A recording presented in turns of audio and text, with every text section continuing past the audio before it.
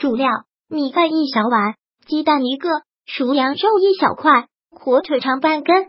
辅料：葱一颗，盐。调味料：米饭中刻入一个鸡蛋，搅拌均匀。